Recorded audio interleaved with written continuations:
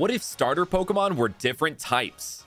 Burgosaur, Icysaur, Verglasaur, Dirtle, Waste Turtle, Dustoise, Chromander, Chromeleon, Chromazard.